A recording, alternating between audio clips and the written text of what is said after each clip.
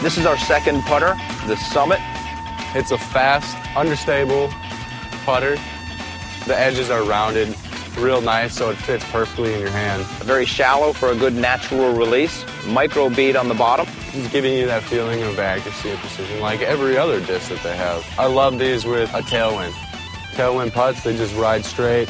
They just follow the wind. It's a good driving putter for those controlled finesse shots. Well, it's got a great glide to it. It's very consistent. It holds a nice Annie line, or you can put it on a hyzer and give it a nice hyzer flip up. It'll hold a nice straight line. And it will get there quick. You don't have to put a lot of energy on it. These things can fly forever.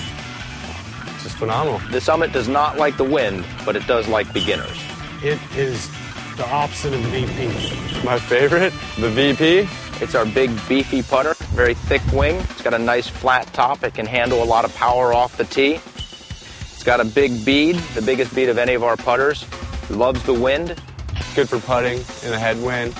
Great upshot disc. Anyone that wants to be able to throw into a headwind or just feel comfortable and confident about any upshot, the VP is definitely going to be a go-to.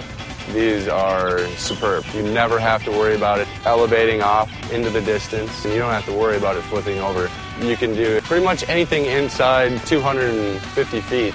Sidearm, backhand, you know, Tommies, you have to try it.